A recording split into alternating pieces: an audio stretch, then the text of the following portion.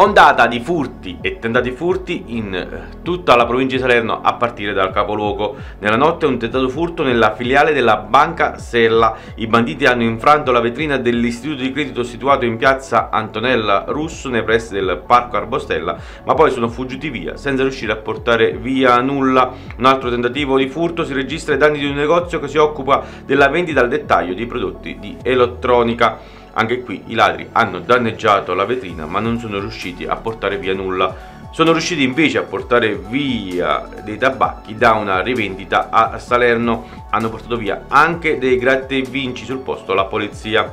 E ancora un furto in una gioielleria a Campigliano di San Cipriano di Picentino. Una banda di malviventi ha fatto razzia di tutta l'oggettistica del vasto showroom Maxi furto poi ha scafati nello studio di un avvocato un bottino di circa 8.000 euro. Per quanto riguarda il Vallo di Diano, controlli serrati da parte dei carabinieri per monitorare il territorio anche in seguito al tentato furto, alla tentata rapina all'ufficio postale di Sala Consilina e al colpo in banca ad Atena Lucana.